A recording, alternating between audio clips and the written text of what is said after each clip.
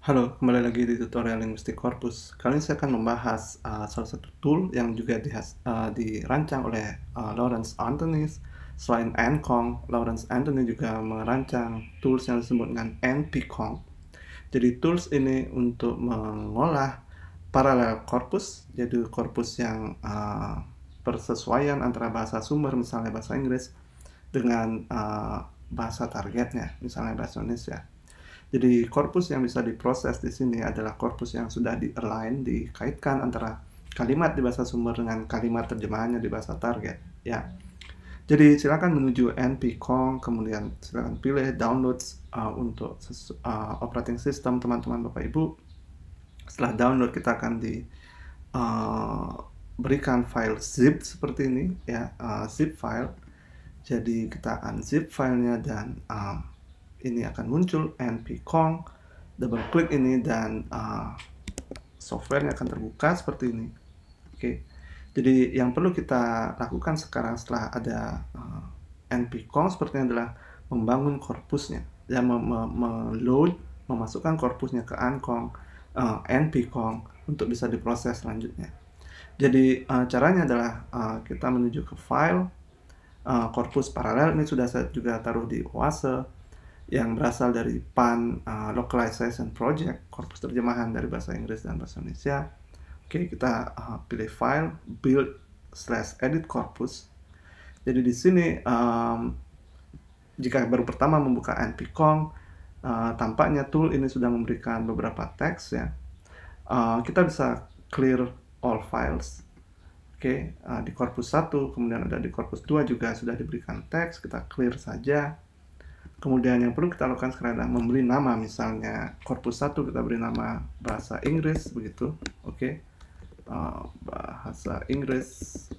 Oke, okay. atau eng misalnya ya. Korpus 2 kita beri nama ID begitu atau IDN. Oke, okay, setelah ini kita bawa kursornya ke kotak ini, kemudian kita choose files. Oke. Okay Uh, sebelum saya memilih filenya, saya akan menunjukkan tampilan paralel korpus yang sudah saya upload di OASE. Jadi PAN BPPT Science, jadi ini dari teks uh, Science, bahasa Inggrisnya. Oke, okay, ini dia kalimat pertama. Zahir International has produced bla bla bla bla. Dan korespondensinya di korpus file yang berbahasa Indonesia adalah seperti ini. Zahir International sendiri telah memproduksi bla bla bla. Ya, jadi ada keberpasangan di masing-masing kalimat di kedua berkas korpus paralel ini ya. Oke, okay, uh, jadi kita kembali ke npcong di korpus 1 kita pilih choose file. Um, kemudian kita bisa memilih um, files ya. Jadi ada di ini dia pan lbp pt saya eng. Oke. Okay. Untuk bahasa Inggris kita klik open. Kemudian kita uh, di bahasa Indonesia kita pilih juga korpus yang berbahasa Indonesia di tools kemudian ini open oke okay.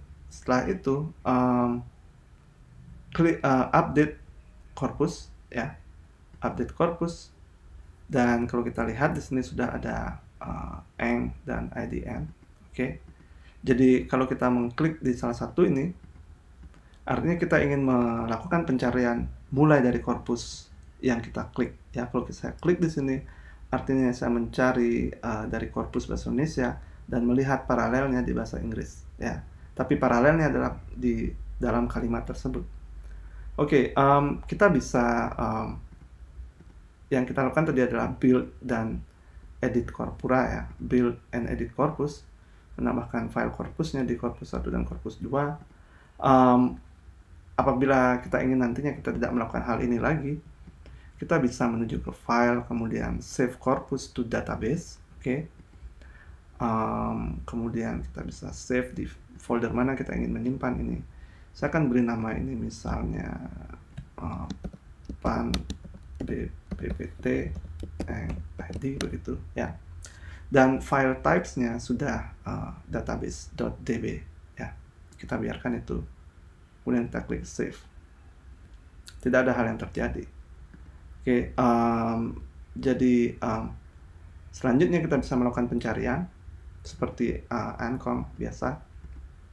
Anggaplah kita mulai dari bahasa Indonesia, kemudian um, di sini kita masukkan kata pencariannya dan ini adalah sorting oke okay?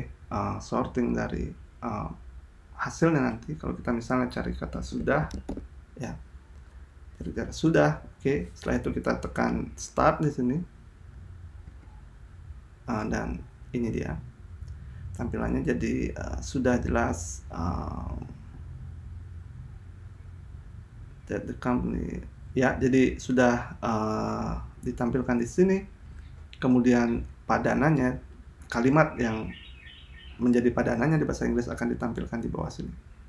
It is obvious that uh, a being that has excited bla bla bla sudah jelas bahwa bla bla bla. Ya jadi uh, tentunya teman-teman bapak ibu mungkin berpikir um, wow tidak di highlight ya terjemahannya di sini ya kita tidak meng highlightnya di sini atau NPCon tidak meng-highlightnya di sini. Mungkin um, saya kurang tahu kenapa, tapi intinya NPCon berhasil mencari padanan kalimat ya. Kalimat di mana sudah ini digunakan uh, ditampilkan juga kalimatnya di bahasa Inggris. Oke. Okay? Um, ya. Kemudian um, tentunya kita bisa uh, save resultsnya menjadi plain text. Oke. Okay? Save results um, kemudian uh, oke okay, ancom npcom saya akan save ini dengan nama yang sama dengan database-nya kemudian kita ya hanya text file save results are save dan mudah-mudahan ini bisa dibuka dengan baik di uh, Excel ya. Jadi kita menuju ini dia hasilnya. Oke. Okay um, saya akan buka Excel. Ya oke okay, file kemudian open. Kemudian saya akan pilih file yang tadi ini dia.